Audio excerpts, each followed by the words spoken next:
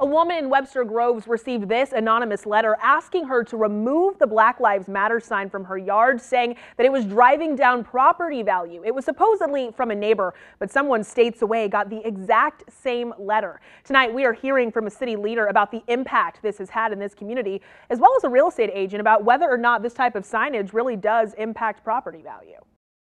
Other day, and it's starting to like crack and fall apart because we've had it for so long. There are a lot of ways to get your message across. It's our second because one was stolen. Courtney Schaefer's family prefers bold font and in their front yard. How would you describe the racial breakdown of your neighborhood?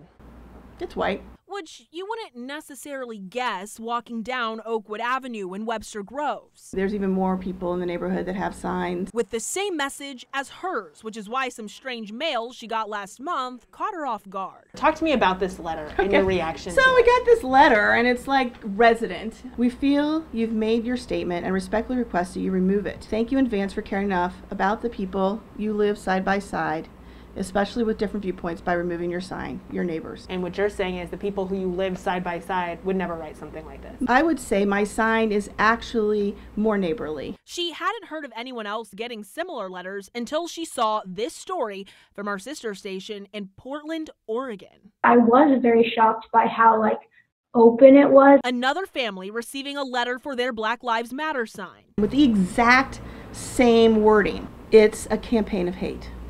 They are trying to instill uncertainty, which leads to fear. The author of the apparently national letter states they appreciate the political and social viewpoint, but claim the signs are, quote, driving down interest to live on this street and are causing property values to suffer. I think this letter writer was probably sadly misinformed. Susan Schiff is very familiar with Webster Groves real estate. I've been selling there for 35 years. She also lives in Schaefer's neighborhood, where these signs have actually been up for a couple of years now. In those past few years, have you seen an impact on property value?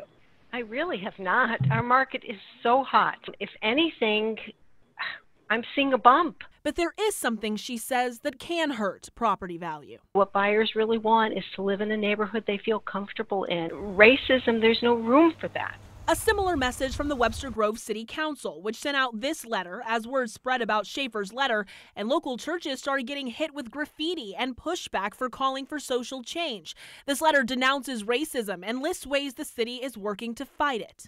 To find that our issues of racial equity come up in the same way as other communities, it shouldn't be surprising. Webster Groves is about 90% white. Black residents make up less than 6% of the total population. There is no excuse for racist behavior in our community. Um, there shouldn't be any anywhere in our country. Let's say the letter did come from somebody who lives in your neighborhood. What message would you have for that person? What is it that you're afraid of?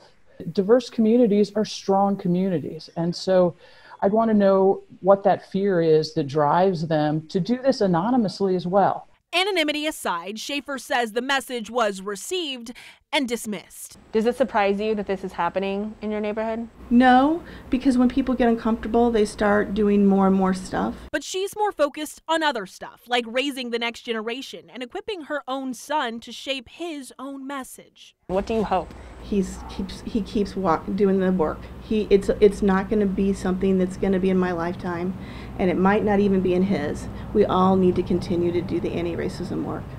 Schaefer said she wanted her story told in case anyone else got this letter or one like it so they would not be intimidated or fearful. Meanwhile, Arnold says that the city of Webster Groves is taking steps to address racial equity for the city.